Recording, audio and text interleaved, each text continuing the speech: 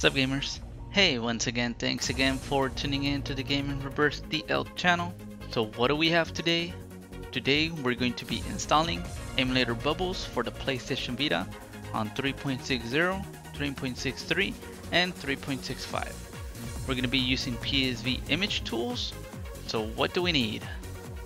We will need a PlayStation Vita on firmware 3.60, 3.63, or 3.65. Also, we will need a PSP game, demo or mini, QCMA, PSV image tools, of course at Silica's GitHub.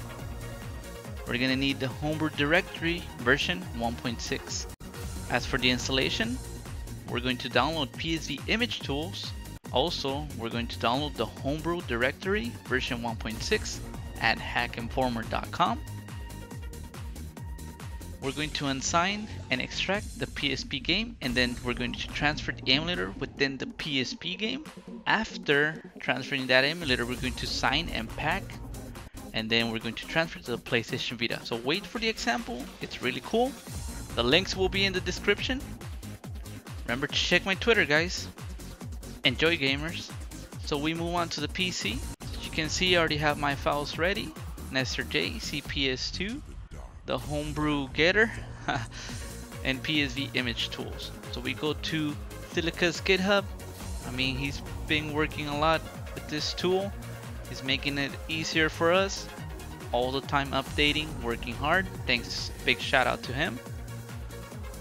He also gave a shout out to Gamers Rebirth, you know, just giving him some feedback, giving me shout outs too, so that's pretty cool. Good partnership. So as for me, you can see that we have various Windows 32, Windows 64. So I'll be using the PSV image tools front end Windows 64. So I'm going to download it and install. So we just give it a moment. Okay, so you can see I already have it. So now just remember to go to silly.cf, Silica's page. You know, he's got cool information in there.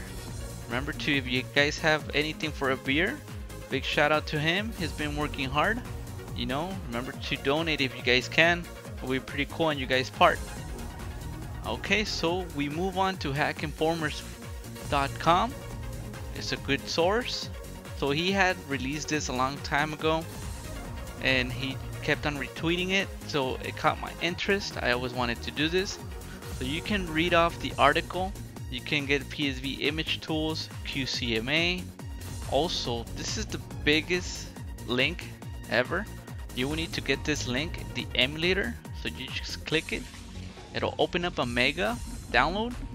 So download that because that will go ahead and give you all the emulators you need already converted. I'll go ahead and leave two examples on my Twitter page so you can look into his article if you get lost he has great ideas and you can install more information so you can look through his webpage. Big shout out to him, that's pretty cool. So as the for the file is the homebrew directory version 1.6. You can see there's all the emulators in there. They're already converted so that they work with the bubbles. So you will need to have the compatible emulator. So just remember, it's really important. So I recommend you guys get this and download it from here. Okay, so now that let's say we've downloaded our emulators, you can see I have NesterJ CPS2. So we're going to go to Documents, PS Vita, P Game. I'm going to choose my profile, which is 3.65. Now I have two games. I have cloned one PSP game. So just make sure you have a game or two in there so that you can create your bubble. Now we're going to launch PSV image tools. We're going to select backup manager. We're going to unsign and extract. We're going to select PlayStation Portable. Remember to select your profile. That's my 3.65 profile. Choose account you can see I have Petz Saddle Club demo. Have 90025 and 90026. So I'm going to choose the 90025 and click unsign and extract. I'm gonna do the same thing for the other game. Unsign and extract. So just sped up the video a little bit for you guys.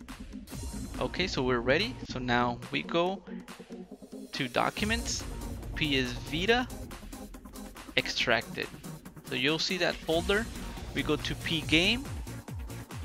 After selecting P game, you're gonna see 90025 and 90026. Now, now that we have that folder open, we go to our emulator. Okay, so now, as you can see, I have an eBoot PBP. So we can rename this as P, as in Paul, boot PBP. So that gets the emulator ready. If you download it straight from Tool, from Hack Informer, it's already converted for you guys. So what we'll go ahead and do is we're just going to go ahead and copy. Okay, so we go to the game folder and we select game and then we select that UXO folder. Go within it and you'll see I had a pboot that was my VHBL so I'm going to delete it so you're gonna see probably your game like the one on the left so we're gonna copy the information from the emulator and paste it directly within that folder. So we give it a moment. Remember to include all your ROMs within it. Okay, so now that we're ready, let's go ahead and do the other game as well. The 90025. You can see 193 megabytes. So I'm going to go to the game folder. I'm going to the UXO. I have my PBP because it was a VHBL. I'm going to delete that. I don't need it. So now I'm going to open my CPS2 PSP folder. As you can see, my eBoot PBP, I'm going to go ahead and rename that to pboot PBP. I think this is pretty cool guys. It's exciting. We're going to go ahead and copy all that. Remember to include all your ROMs. It's really important guys. And then we're going to paste within that game. Okay, so now we're basically done. We're ready. So now that we're ready, go to PS Vita, P game, to your profile, and those two games, I recommend you guys to copy them and or put them in a safe place if you might need them later on. So we don't want to overwrite over them if anything happens. So I created a folder PSP game backups 3.65.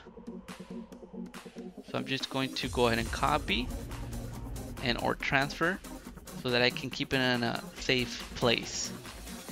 If I ever need to go back and reset the game, I already have a saved file. So now we're gonna launch PSV image tools. And this is a pretty cool thing. What it's going to do for us, going to backup manager,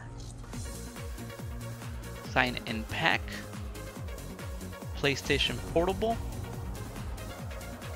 You can see we have 90025 and 90026. So we're going to select sign and pack and select the profile It's gonna do some cool thing in the background as always. So we just let it be for a few moments. And then we're gonna get packing complete, refresh QCMA. Okay, so we've done that. Let's just do the second one real quick. Which is our profile. Choose account. As you can see it's a smaller size, so it did it quicker. Hacking completed, refresh QCMA. So that's all we need to do with PSV image tool so we can close it out. Remember to refresh QCMA's database. As always, I do it twice. So we move on to the PS Vita. We launch Content Manager. Copy content.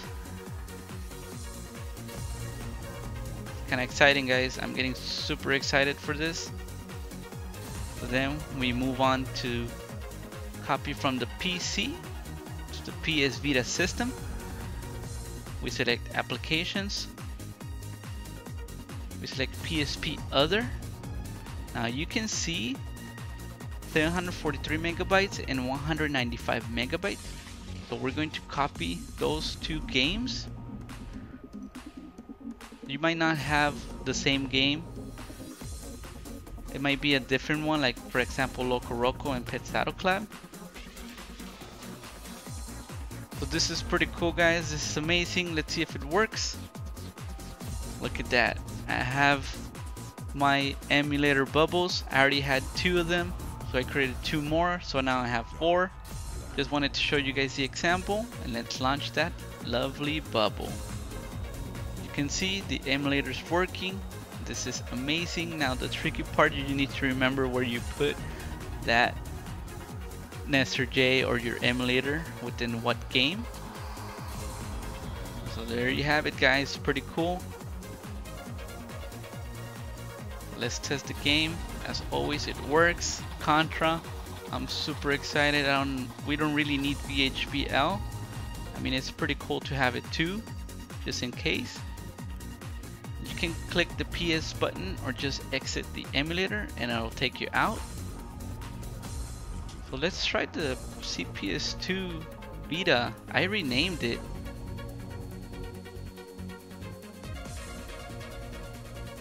Can see the emulator's working.